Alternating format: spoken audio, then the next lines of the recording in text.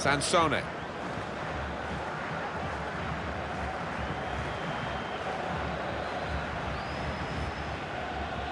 It's very good skill. He's made the defender look a bit awkward. Goes for goal with the header, and it's in. Perfect header.